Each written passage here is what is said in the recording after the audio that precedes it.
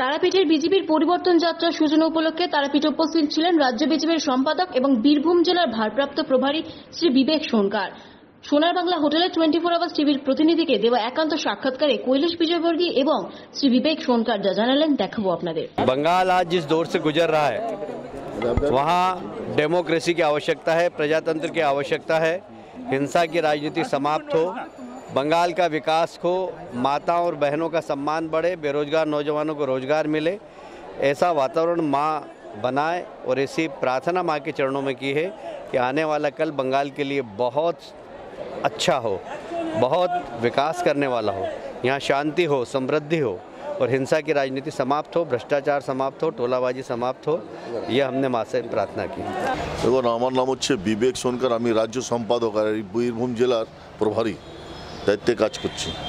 আপনারা যে মিডিয়ারা বারবার রথ রথ রথযাত্রা বলছেন, এটা রথযাত্রা নয়। আমি পরিষ্কার করে বলে দিচ্ছি, এটা পরিবর্তন যাত্রা আছে। আর আমাদের পশ্চিমবাংলায় সাংগঠনিক হিসাবে পাঁচ ভাগে, পাঁচ জনের হিসাবে সাংগঠনিক হিসাবে ভাগ বাটোয়ারা করা হয়েছে। এটা হলো রায়বঙ্গ জন আর এইখান থেকে আজ মাননীয় জেপি নাড্ডাজি এটা সূচনা করবেন এই পরিবর্তন যাত্রার। আর পরিবর্তন যাত্রার পুরো পশ্চিম বাংলায় প্রত্যেক বিধানসভায় গিয়ে পশ্চিম বাংলাকে সোনার বাংলা বানাবার জন্য জন জাগরণ করতে বেরিয়েছে। রথ যাত্রা বলবেন না এটা পরিবর্তন যাত্রা। আরেকটা প্রশ্ন হচ্ছে এটা নিয়ে বিরোধীরা প্রশ্ন করছেন যে একটা বিলাসবহুল ফাইভ স্টার হোটেল ঘোরানো হবে এই বিষয়ে কি বলবেন? দাদা এটা আপনি শুনুন শুনুন। বিরোধীরা কি বলছে না বলছে যা বলবে শেষ কথা এখানকার জনগণ পশ্চিমবাংলার জনগণ বলবেন। বিরোধীরা নানা রকম কথা বলে যাচ্ছেন আর কারা বিলাসিতা জীবন জীবন যাপন করছেন সেটা আপনারা ভালো করে জানেন কি বিলাসিতা জীবন পশ্চিমবাংলায় কে বা ইয়ে করছে। দ্বিতীয়ত আপনি বীরভূমের এই মুহূর্তে জানেন অনুব্রত মণ্ডল একটা খুব বিশাল ফ্যাক্টর তো সেইটা নিয়ে আপনারা কি ভাবনা করছেন? দেখুন অনুব্রত মণ্ডলকে আমরা বিশাল ফ্যাক্টর মানি না আর কোনো আমরা এটা গুরুত্ব দিই না। ভারতীয় জনতার পার্টির এক একটা কর্মীর একটা বিশাল ফ্যাক্টর সেটা প্রমাণ সামনে ইলেকশনে করিয়ে দেওয়া দেওয়া যাবে। এর আগেও অনেক আক্রমণ তার দিক থেকে বিজেপি কর্মীদের ওপর এসছে। তো সেই প্রসঙ্গে আপনাদের কিছুই আছে?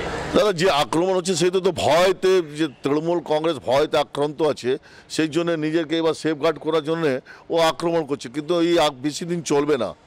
আর আমরা জবাব দেব ভালো করে জবাব দেব জনগণকে নিয়েই জবাব দেব আর জনগণ চাইছে পশ্চিমবাংলায় এবার পরিবর্তন আনার জন্যে। আর আপনি আমাদের চ্যানেলের মাধ্যমে দর্শকদের কোনো বার্তা দিতে চান? দেখুন দর্শক সব দেখছে দর্শকের পুরো পশ্চিমবাংলা ওনার হাতে আছে আপনার সুনাম চ্যানেল আছে টোয়েন্টি ফোর আওয়ার্স। সেটা তার মাধ্যমে আমরা এটা বলতে চাইছি যে পশ্চিমবাংলায় পরিবর্তন খুবই প্রয়োজন আছে। না, তাহলে আর বাংলা বাঁচতে পারবে না। আমাদের ভারতীয় জনতা পার্টি নাড্ডাজির নেতৃত্বে, দিলীপ ঘোষজির নেতৃত্বে সোনার বাংলায় গড়ব গড়ব, গড়বো।